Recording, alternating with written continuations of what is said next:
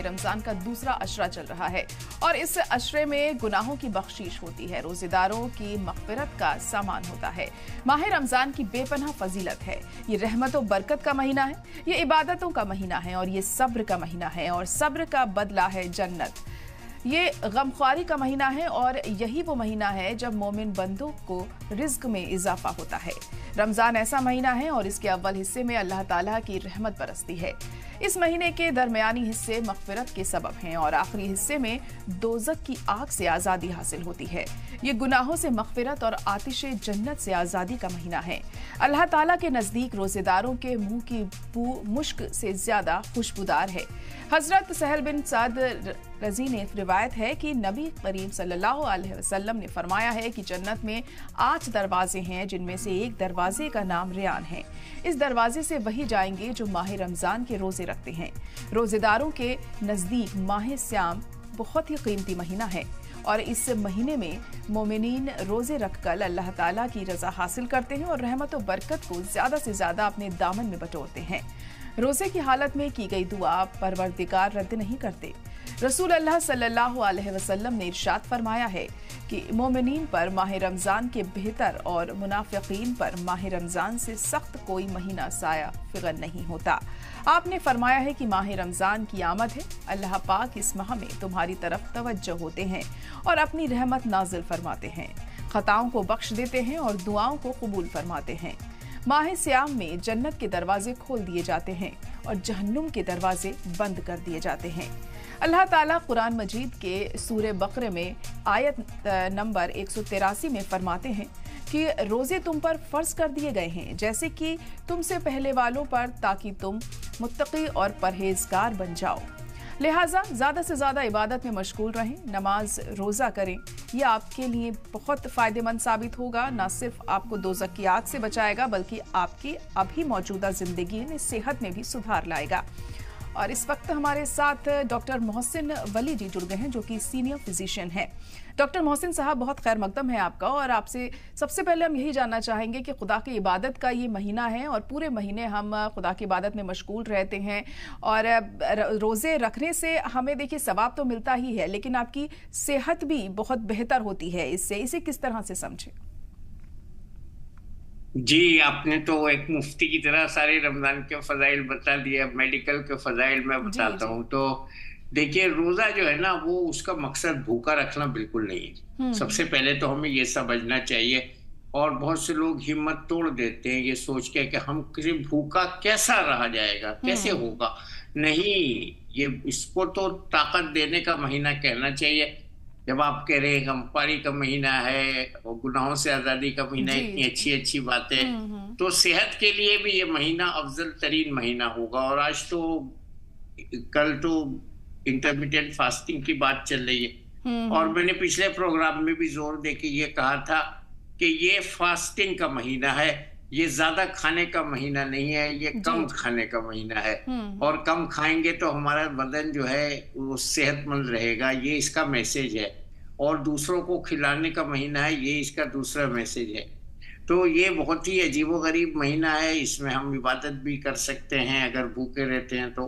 और हमको जो है बहुत सी चीज़ें जिसमें सोशल चीज़ें भी आती हैं जैसे सच बोलने की प्रैक्टिस करना झूठ ना बोलना और अपने बदन की हिफाजत करना जैसे किसी को थप्पड़ नहीं मारना आँख से किसी को नहीं घूरना हर पूरे मतलब पूरी बॉडी की ये मश्क है कि हम्म। रमज़ान में हम कैसे ग्यारह महीने हम बाकी रहें हम्म। ग्यारह महीने किस तरह हमारा कंडक्ट हो उसकी प्रैक्टिस हम रमज़ान में करते हैं मेडिकल की कुछ चीज़ें मैं बताता हूँ आपको आपने भी मुश्क का और मुँह की स्मेल हम्म। का ज़िक्र किया जो हमारे मुँह में जो अगर हम नहीं खाते हैं तो मुँह का ऑटोमेटिक क्लिनजिंग होती है। हम्म, हम्म। और जो डिके होता है वो रुक जाता है। दांत अगर कम चलाते हैं तो दांतों की जो डेंटीन है उसकी शाइनिंग बढ़ जाती है। हम्म। इसी तरह से ओरल हाइजीन को ठीक रखने का ये बेहतरीन महीना है। कम खाएँगे एसिडिटी नहीं बनेगी ज़्यादा एसिड नहीं बनेगा।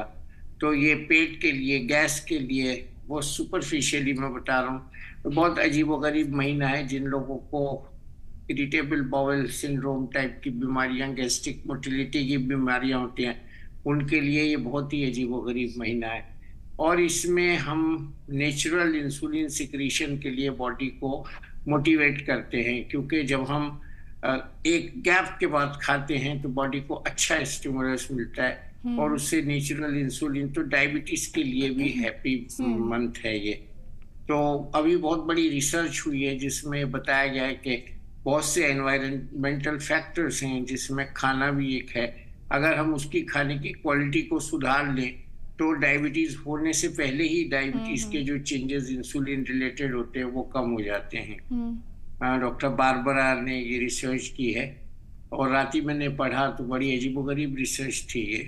और हम्म। इसके बाद एक्सरसाइज होती है इसमें एक्स्ट्रा जो हम नमाज़ पढ़ते हैं तरावी की उसमें हमारे घुटनों की कमर की पूरी बॉडी की एक्सरसाइज होती है। और तीसरी बात यह है कि हमें एक डिसिप्लिन की आदत डालनी होती है और वो डिसिप्लिन जो है सोने उठने का भी होता है। हम्म। और सोने उठने के डिसिप्लिन में पूरी बॉडी की आजकल तो ज़रूरत ही है हम जल्दी सोए और जल्दी उठें। लेकिन बच्चे तो अब कुछ सोचते हैं कि अब शहरी खा के ही सोएँगे वो भी अच्छा नहीं है। थोड़ा नींद ले लेनी चाहिए शहरी से पहले और अपनी बॉडी को रेगुलेट करना है। जो हम्म। लोग हम जैसे काम पे जाते हैं हम्म। सुबह सो नहीं सकते।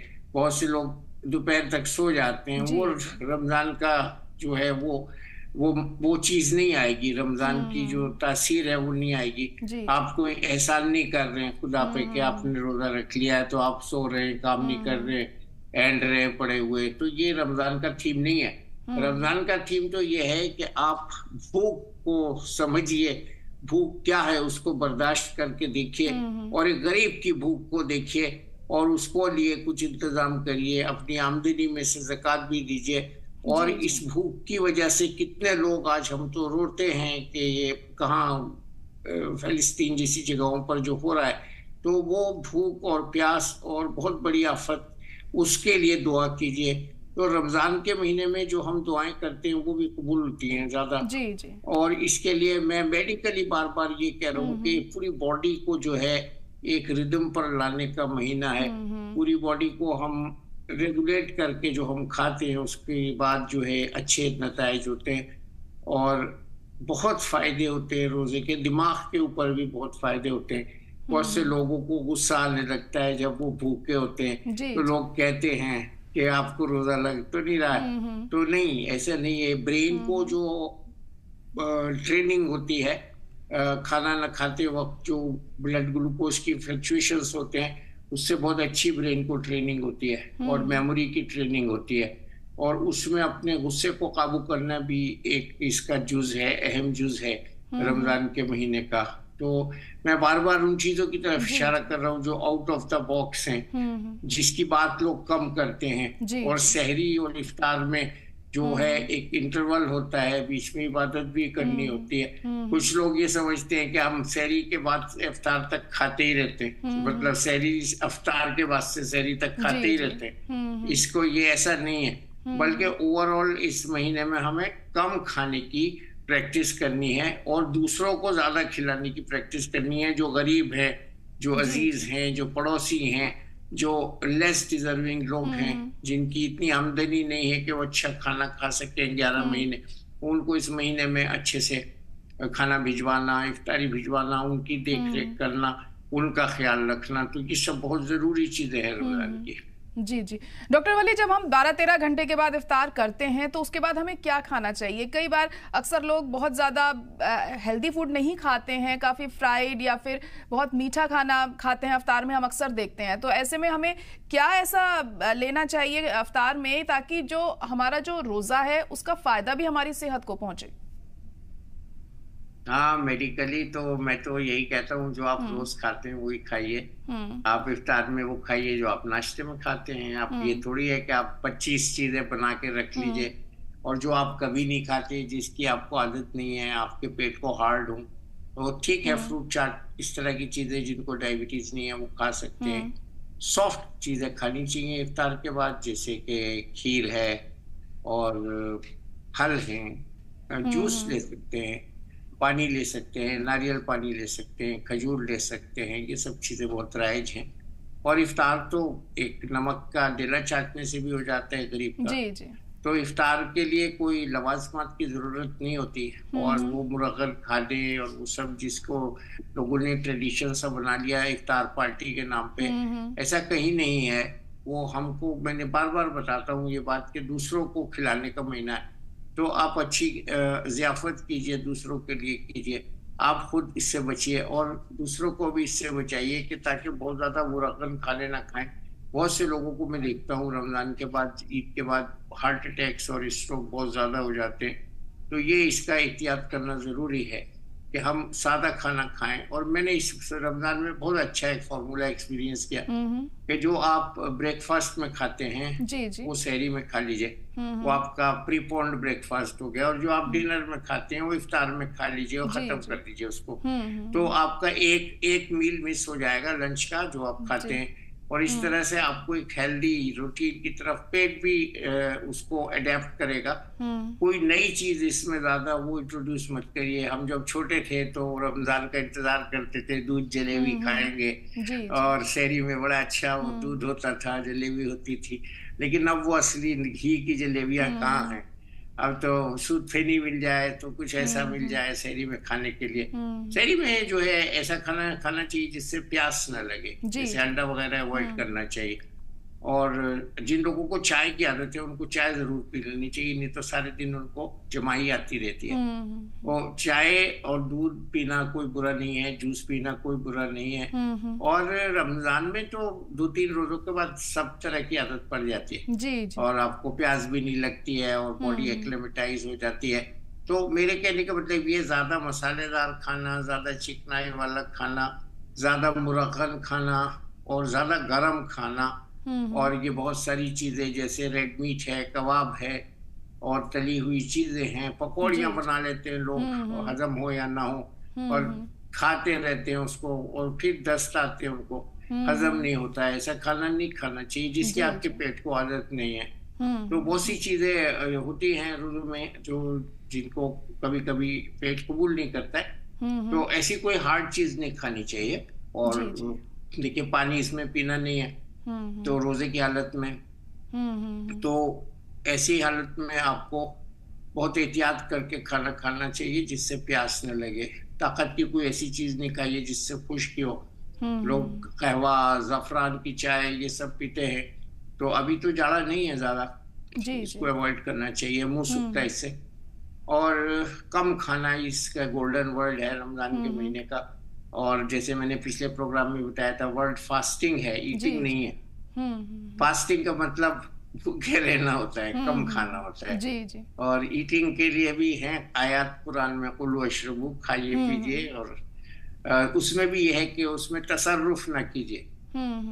तो हर चीज़ में इस्लाम ने एक बैलेंस बताया है और ये लोग बड़े मोहब्बत से देखते हैं उन लोगों को जो रोजा रखते हैं। मैं आपको हम्म। बहुत अच्छी बात ये बता रहा हूँ कि बहुत ही इज़्ज़त से बहुत मोहब्बत से और बहुत सरप्राइज़ से देखते हैं कि आप हम्म। बगैर पानी पिए बगैर खाना खाए रोजा रखते हैं। ये बहुत अजीब और गरीब हम्म, बात है हमारे इसकी रोज़े की। तो उसके लिए उनको जो है उनके इस गुमान में हमको कोई ऐसा काम नहीं करना चाहिए जिससे उनको शक हो। कि अरे हम्म। ये तो बहुत खाते हैं रोजा रखने के बाद। ये तो बहुत ऐसी चीज़ें खाते हैं जो गरीबों को मिलती नहीं है। हम्म, हम्म। तो ये हमको एक बहुत अच्छा महीना है सच बोलने की प्रैक्टिस करने का सिगरेट अगर छोड़ना चाहें तो उसको छोड़ने का और भी कोई नशा को छोड़ने का।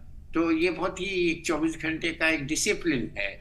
और इसमें नमाज़ की दफ़ा है और सवाब भी आपने जैसे बताया बढ़ा दिया जाता है।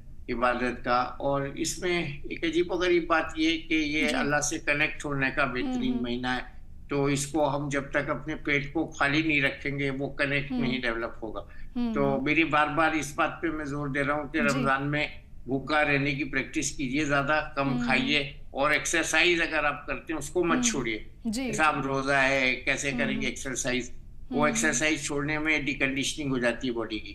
तो जो भी एक्सरसाइज करते हो कीजिए। रोज़े हम्म। में थोड़ा सा प्यास बर्दाश्त करिए दैट्स ऑल जी जी जी, बिल्कुल। और बर्दाश्त आप करते हैं, सब्र करते हैं, तभी रोज़े का भी सवाब आपको यहाँ पर मिलता है। ना सिर्फ़ भूखे प्यासे रहना, बल्कि अपने आदतों में भी हमें बदलाव लाना बहुत अहम हो जाता है। डॉक्टर वली, अक्सर किसी कोई बीमारी से पीड़ित होता है तो मना करते हैं डॉक्टर्स उसे रोजा रखने के लिए। लेकिन फिर भी लोगों का अकीदा इतना होता है, उसके बावजूद भी वो रोजा रखते हैं यहाँ पर। तो यह ये कहाँ तक सही है? आपको क्या लगता है, किन ऐसी डिजीजेज में हमें रोजा नहीं रखना चाहिए?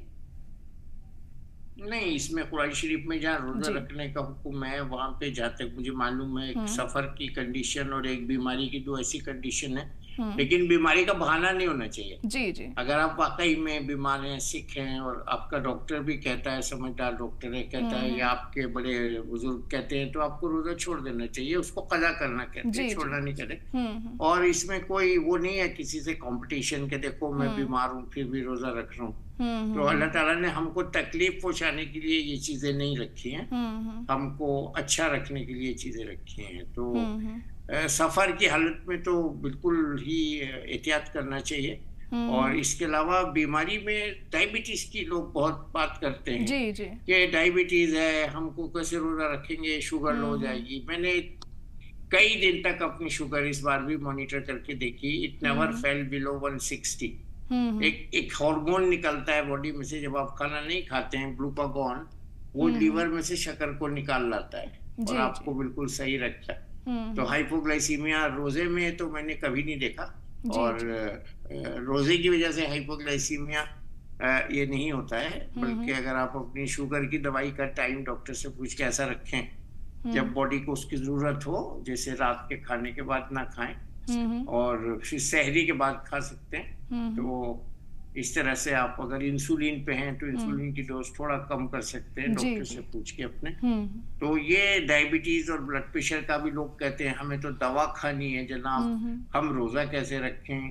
तो नहीं दवा खाइए। शहरी अफ्तार में जो सुबह शाम की दवा उसको डिस्ट्रीब्यूट कर दीजिए। ज़्यादातर दवाएँ सुबह शाम की होती हैं। तो उसको शहरी और इफ्तार में डिस्ट्रीब्यूट कर देना चाहिए। जी जी। और रमज़ान से पहले अपनी तरतीब बना लेनी चाहिए कौन सी हम्म। दवा हम शहरी में कौन सी दवा इफ्तार में खाएँगे ये बहुत ही डिसिप्लिन हम्म। है और हम्म, अच्छी बात है। जी और रोजा रखने से कोई नुकसान नहीं होता मैं एज ए डॉक्टर कह रहा हूँ। जी रोजा रखने से कभी कोई नुकसान जी बिल्कुल कोई नुकसान नहीं होता है बल्कि फ़ायदा ही होता है आपकी सेहत को लेकर। फ़िलहाल